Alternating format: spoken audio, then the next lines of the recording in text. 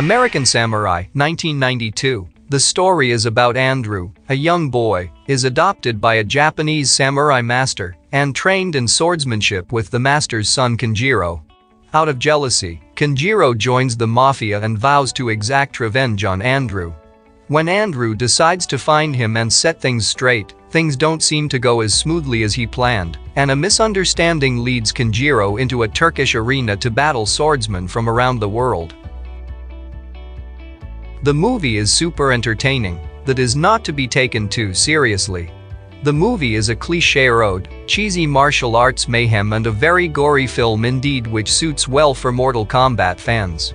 If you enjoy Mortal Kombat then you will enjoy this kind of film, however, you will love it for what it is, which is a brainless martial arts entertainment, worthy to be ranked with the Mortal Kombat film from the 90s.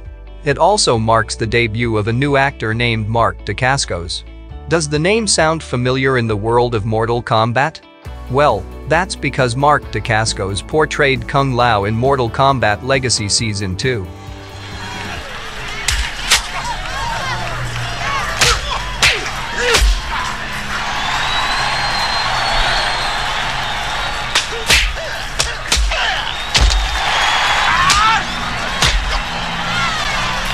Best of the Best 2, 1992. In an underground fight club, black belt Travis Brickley is killed after losing to the evil martial arts master Brakus.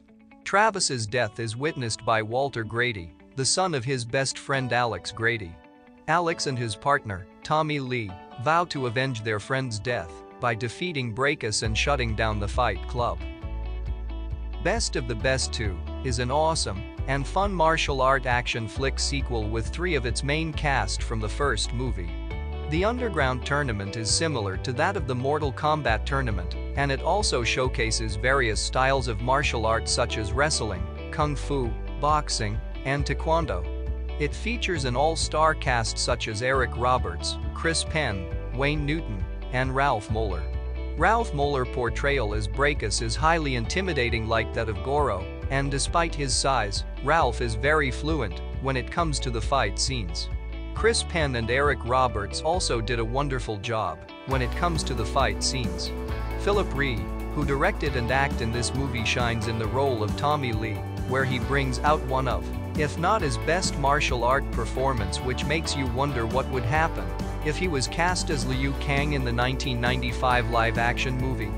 Had he been cast for the role he might have become a bigger star.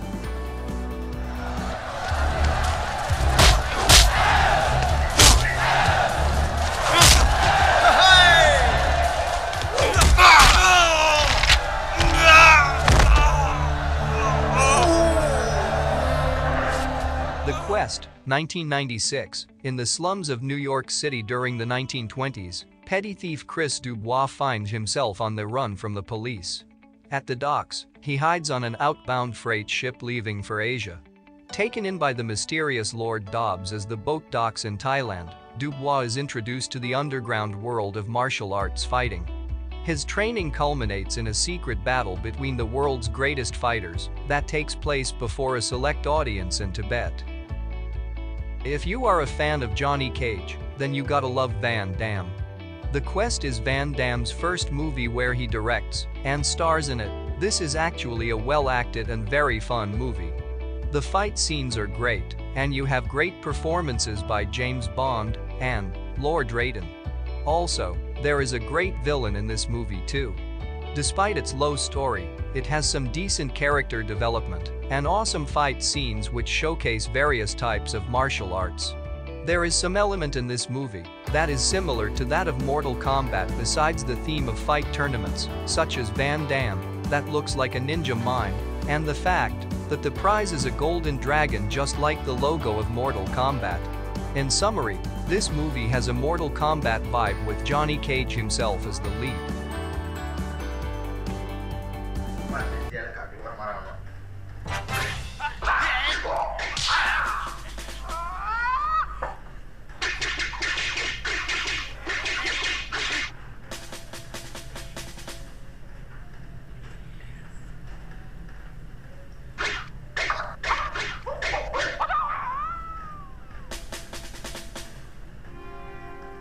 Game of Death, 1978, the sister of Lee's character was to be kidnapped by Korean gangsters.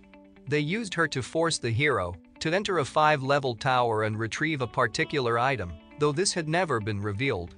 To retrieve it, he had to progress through all five levels of the tower, with each one being guarded by a martial artist of a different style.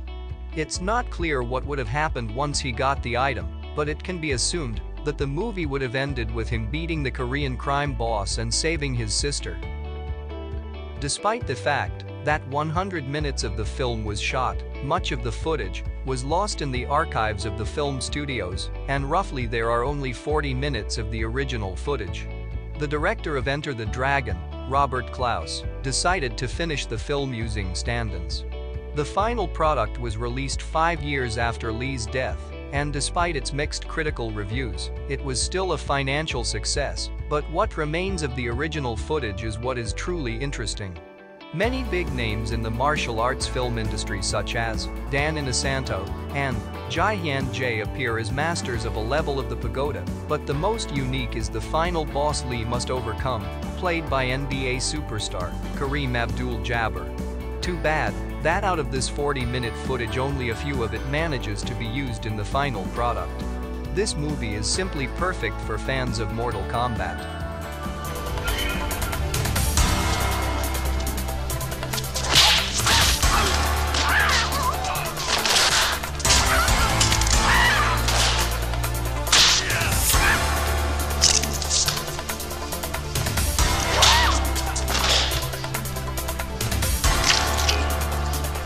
Enter the Dragon, 1973. Bruce Lee plays a martial arts expert determined to help capture the narcotics dealer whose gang was responsible for the death of his sister. Lee enters a kung fu competition in an attempt to fight his way to the dealer's headquarters with the help of some friends. The similarity between Mortal Kombat and Enter the Dragon is uncanny. It is about a Shaolin monk who is coerced into fighting in an annual tournament to the death. In both movies, the tournament is set on a secret island only reachable by boat. Apparently, the only way to get to these islands is by leaving from Hong Kong. The two main characters are drawn into this tournament when their younger siblings are killed by a co-conspirator. Besides the plot, there's also a similarity between the character of Mortal Kombat and Enter the Dragon. Bruce Lee is known as the most influential martial artist who ever lived. Lee claimed his fighting style was no style at all. He named his fighting philosophy Jeet Kune Do, the way of the intercepting fist, which gardens the process of learning martial art as a constant effort to research and experiment. This was so influential that it was adapted for Mortal Kombat's Liu Kang.